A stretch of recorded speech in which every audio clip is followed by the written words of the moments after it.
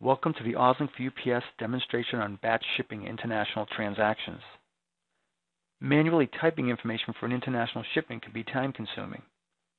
OzLINK Plus allows users to automate this process by passing all the required data fields to UPS WorldShip. Let's assume that you already have OzLINK mapping completed for a basic domestic shipment. Here are the data fields you will need to add to your mapping to accommodate international processing. I'll go into the Add-ins tab, and I'll first click the Styles icon. I want to make sure that I'm dealing with the appropriate style. In my case, it's called Sample Shipping. I'll then click on the Setup icon.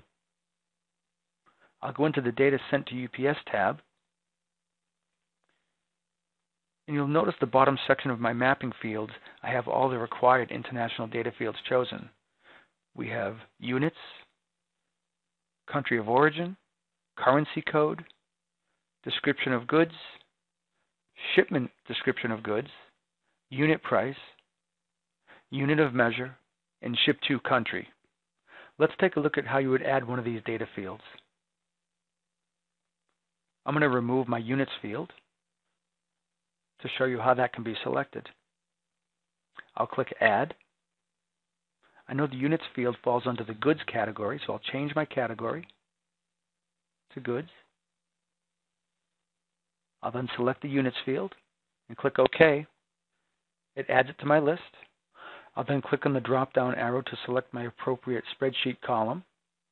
In this case, it's column T, and my new international data field is mapped. Keep in mind that when mapping international data fields, you will be required to change your category. Again, once I'm under my Add function, you have a category list here that can be changed.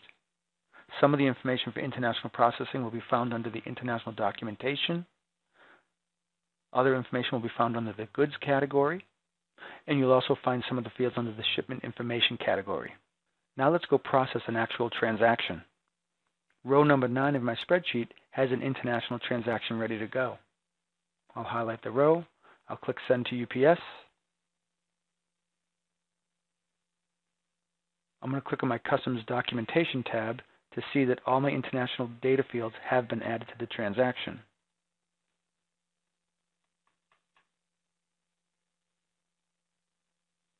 I'll click Process Shipment. The label is printed, and we're ready for our next transaction.